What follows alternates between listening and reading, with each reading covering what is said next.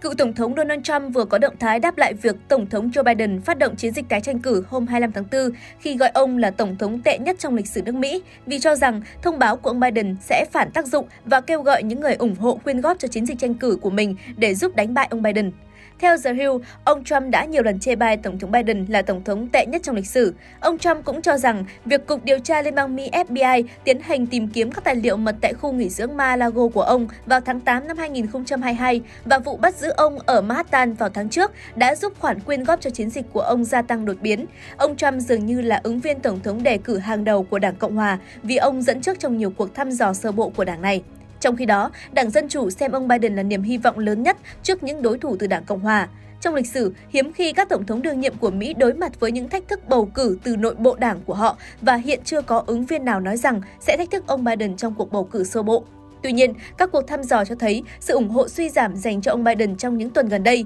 Trong đó có cuộc thăm dò của NBC News cho thấy chỉ 26% số người Mỹ nghĩ rằng Tổng thống Biden nên tái tranh cử, 70% được thăm dò nói rằng ông ấy không nên, với gần một nửa trong số này viện dẫn lý do tuổi cao của ông Biden. Trong khi đó, các cuộc thăm dò khác cho thấy khả năng xảy ra một cuộc chạy đua xít sao trong cuộc tổng tuyển cử, dù cho ông Biden đối mặt với ông Trump hay thống đốc Florida Ron DeSantis, người được xem là thách thức hàng đầu của Đảng Cộng Hòa, dù ông vẫn chưa tuyên bố ứng cử.